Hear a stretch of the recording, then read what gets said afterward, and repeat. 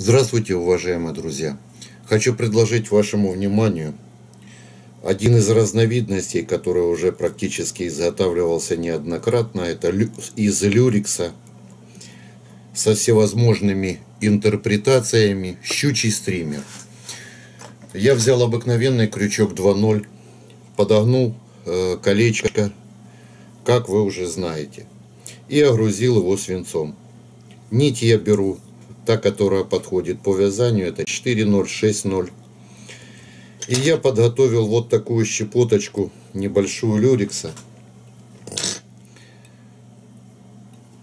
Для того, чтобы мы сейчас с вами его закрепили в хвостике. Значит, длина, э, как вы видите, должна быть или равна, или несколько больше длины, ну не совсем, намного больше длины нашего всего крючка крепим так, чтобы сильно не залазить на наш свинец.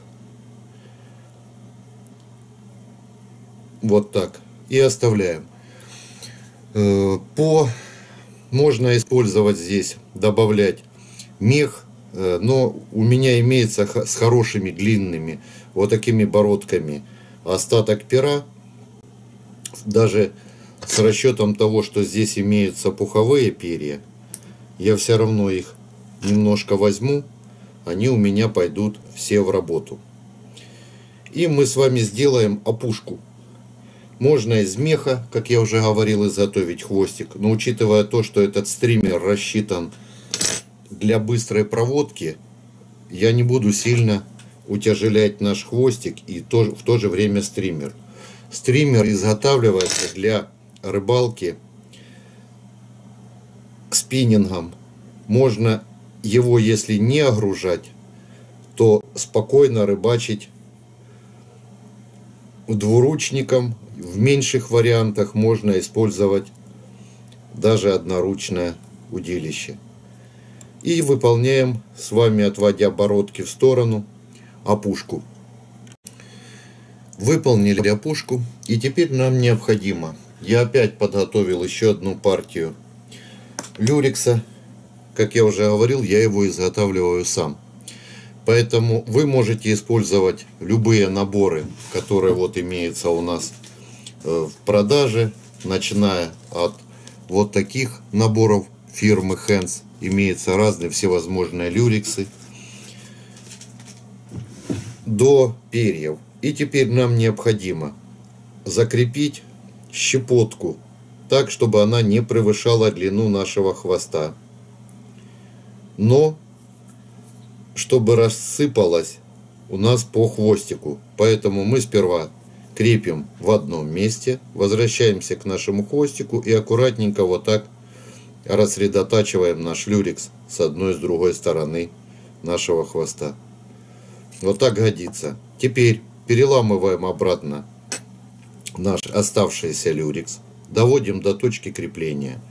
Аккуратно теперь подровняем наше тело и подготовим кусочек лески, которым мы будем с вами сегментировать наше тело. Учитывая то, что стример у меня для хищника, я взял вот кусочек такой достаточно крепкой флуоресцентной лески. Диаметр не могу сказать, может даже где-то 0,45. И аккуратно почти на всю длину закрепим нашу леску и подготовим тело. Подготовили тело. Желательно, чтобы действительно оно у нас было или белым, вот с такой нитки, или же, если есть возможность,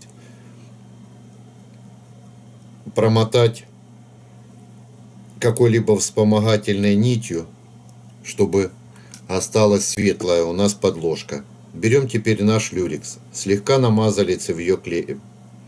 И аккуратненько, вот как будет у нас он ложиться, со, с нашими всевозможными цветами, внахлёст или виточек к виточку, это уже не столь существенно. Выполняем обмотку по всему телу.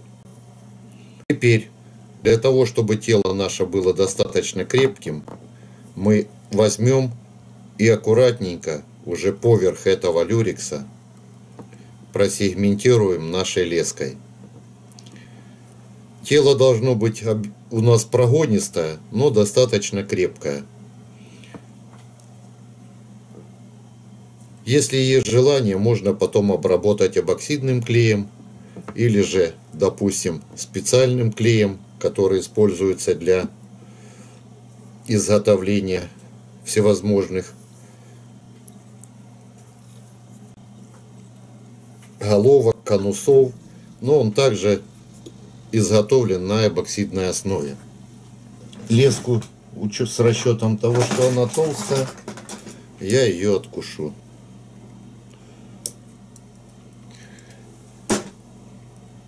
Промажем место крепления клеем и хорошо-хорошо теперь уже все промотаем. Оставляем, как вы уже заметили, около сантиметра для того, чтобы мы могли изготовить всевозможные элементы, которые мы с вами запланировали. Э, стример этот, как говорится, традиционный, ничего здесь нового нет. И как вы просили, он будет изготавливаться достаточно просто. Я теперь беру, подготовил еще вот такой пучочек люрикса, как вы видите, чтобы его длины хватило мне до середины хвостика. Пучок достаточно хороший, то есть на нем должно упираться наше основное крыло. И аккуратненько притяжной петлей подхватываем.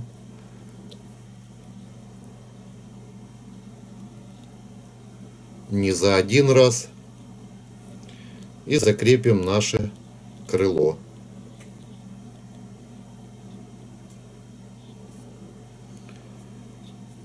Вот оно должно приблизительно выглядеть у нас вот таким хорошим симпатичным ёршиком.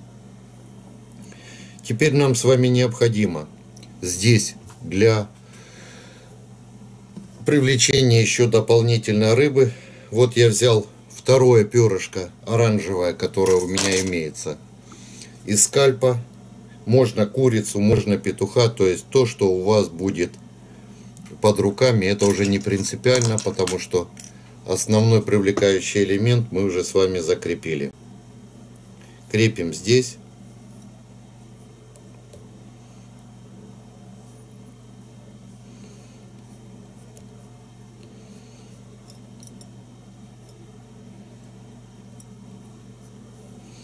и выполним пару-тройку оборотов. Изготовили с вами вот такую опушку. Больше никаких элементов добавлять не будем. Теперь я изготовлю головку. Посмотрим по ее величине или приклеим глазки, или не будем приклеивать. То есть его привлекательности вполне достаточно для хищника. Вот, друзья мои, я немножко капнул лака на головку. Еще придется как говорится, не один раз добавлять. И вот стример в основном рассчитан на э, щуку, но с удовольствием за ней охотится и жерех. Так что пробуйте в разных вариантах, с разной расцветкой. Перо, кстати, вместо, допустим, оранжевого, можно шартрес или желтое на воротничок использовать. Но бородку желательно э, низ чтобы был у нас красным или оранжевым цветом. Благодарю вас за внимание. До скорых встреч!